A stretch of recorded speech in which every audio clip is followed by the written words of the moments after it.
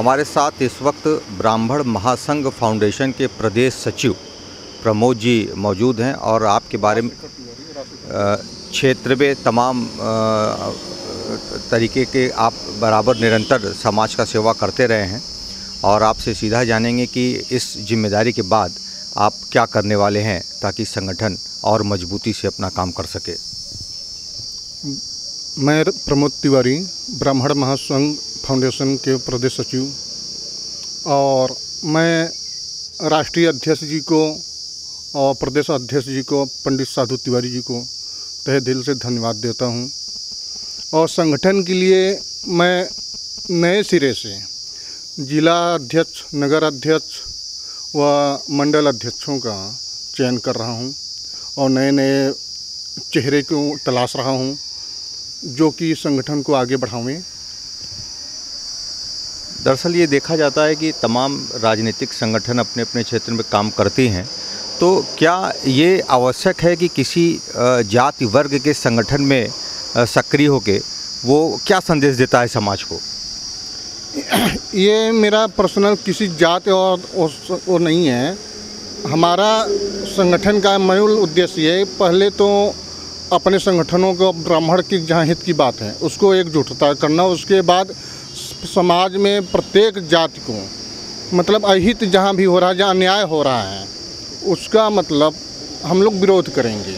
और ब्राह्मण महासंघ की एक खासियत के बारे में आज इन्होंने बताया कि ये सिर्फ़ और सिर्फ़ ब्राह्मण महासंघ संगठन से ब्राह्मणों के लिए नहीं बल्कि समाज के सभी वर्गों के हित की लड़ाई लड़ेगा। बिल्कुल। बिल्कुल मैं समाज के सभी वर्गों के लिए हम लोग लड़ाई लड़ेंगे। और साथ में ब्राह्मणों की पर्सनल जहाँ आती है बात वहाँ पर भी जैसे हमारा संगठन कार्य कर रहा है उनके लिए भी लड़ा जाएगा। इस प्राचीन मंदिर के बारे में भी चर्चा है कि आपके साथ एक घटना घटी उसके बाद आपने इस मंदिर का यहाँ निर्माण कराया क्षेत्र में इस बात की चर्चा है।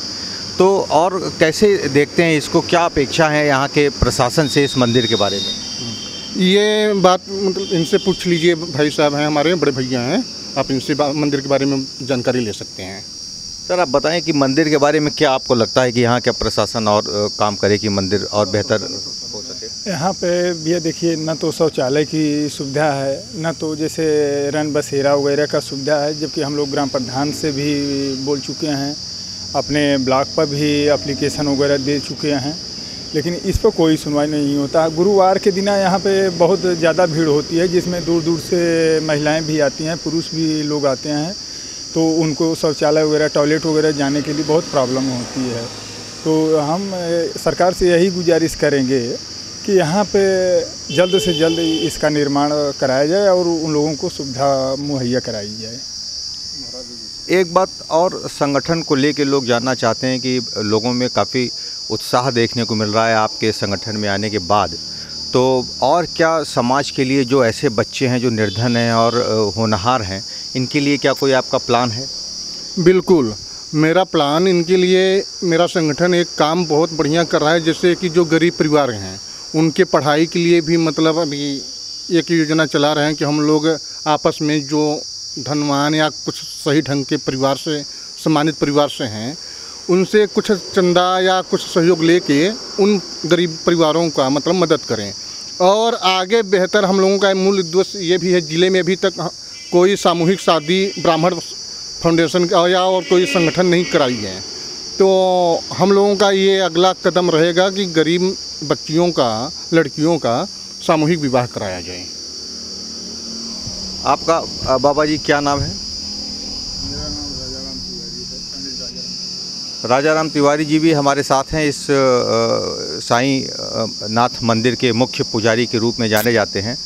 और आपसे भी जानना चाहेंगे कि तमाम दंत कथाओं के मुताबिक यहाँ भी बाबा की कृपा बराबर बरसती रहती है। आपको कब लगा कि बाबा की कृपा साक्षात आपने देखा? आप बताइए लोगों को।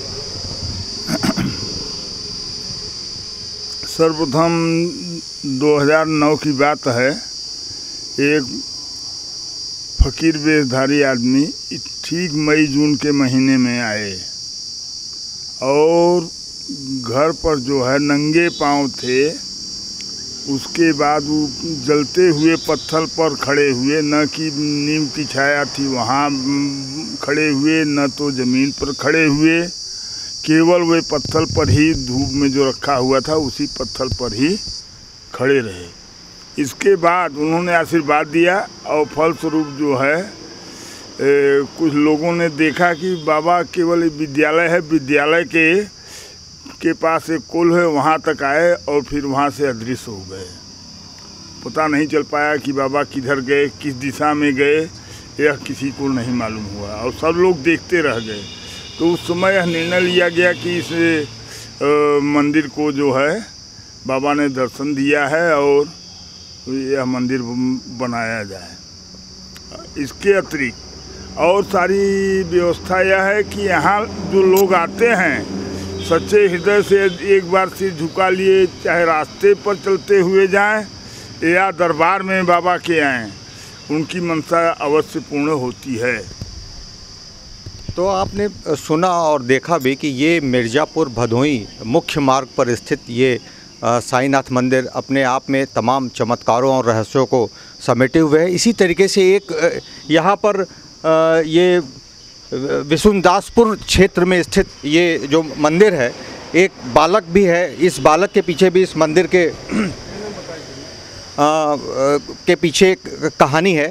सर आपको मालूम है कि ये ये ये लड़का भी खो खो गया था और इसकी प्राप्ति के बाद आप भगवान का चमत्कार मानते हैं साईनाथ के चमत्कार से बालक मिला है।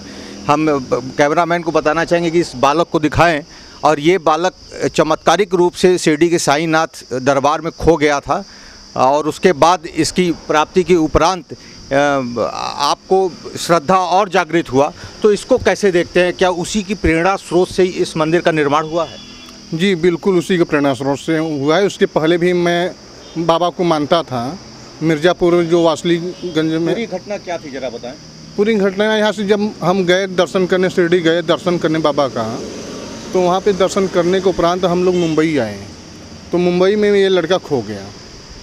खो गया। काफ़ी मतलब चार पाँच घंटे हम लोग इधर उधर भटके और वहाँ अगल बगल के मोहल्ले के लोग इसको खोजने में लगे, नहीं मिला।